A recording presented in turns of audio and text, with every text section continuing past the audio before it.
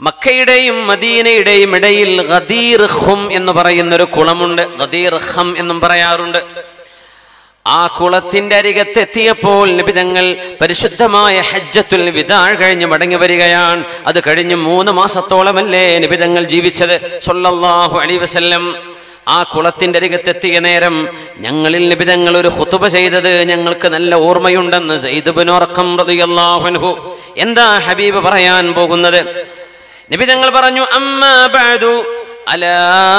അയ്യുഹന്നാസ് അല്ലയോ ജനങ്ങളെ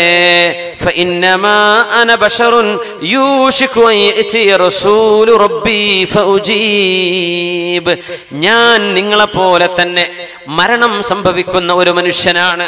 അള്ളാഹുവിന്റെ മരണദൂതുമായി അല്ലെങ്കിൽ മലക്കുൽ മൗത്ത് വരുമോ എന്ന് ഞാൻ കാണുന്നുണ്ട്. മലക്കുൽ മൗത്ത് എന്റെ അരികത്തേക്ക് വരാൻ സമയമായിട്ടുണ്ട്. മലക്കുൽ മൗത്തിന്റെ വിളിയാളത്തിന് ഞാൻ ഉത്തരം കൊടുക്കാൻ നേരമായിട്ടുണ്ട്. എന്ന് പറഞ്ഞാൽ എന്താണ്? അറുപത്തിമൂന്ന് വയസ്സുള്ള പൂർണ ആരോഗ്യവാനായ നിബിതങ്ങൾ ലോകത്തോട് വിട പറയുമെന്ന് നിബിതങ്ങൾ മനസ്സിലാക്കിയിട്ടാണ് ഈ സംസാരിക്കുന്നത്. തങ്ങളുടെ വഫാത്ത് നടക്കുന്നതിന്റെ ഏകദേശം എൺപത് ദിവസമേ അതിൽ താഴെയുള്ളൂ. ആ സമയത്താണ് പരിശുദ്ധമായി ഹദീസ് നിബിതങ്ങൾ പറയുന്നത്.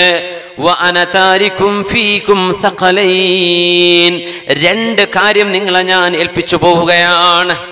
ഞാൻ പോയാലും നിങ്ങൾ അള്ളാഹുവിനെ ഭയപ്പെട്ട് ജീവിക്കണം. ഞാൻ പോയാലും ഇസ്ലാം കൈവടിയരുത് ഞാൻ പോയാലും നിങ്ങൾക്ക് സ്വർഗം കിട്ടണം. നിങ്ങൾ അള്ളാഹുവിന്റെ വഴിയിൽ ജീവിക്കണം. അതുകൊണ്ട് രണ്ടെണ്ണമാണ് ഞാൻ നിങ്ങളുടെ കൈകളിൽ നൽകുന്നത്. ഫീഹിൽ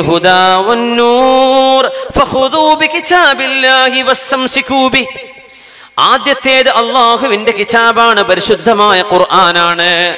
അത് മുറുകെ പിടിക്കണം. അതിൽ അള്ളാഹുവിന്റെ മാർഗദർശനമുണ്ട് റബ്ബിന്റെ വെളിച്ചമുണ്ട്. രണ്ടാമത്തേത്.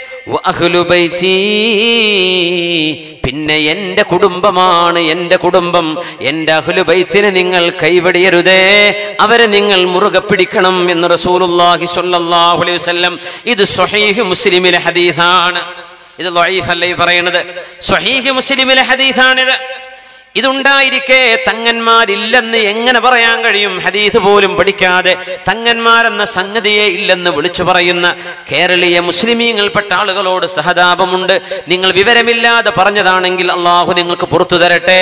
ബോധത്തോടെ പറഞ്ഞതാണെങ്കിൽ നിങ്ങൾ തോപ ചെയ്ത് മടങ്ങണം.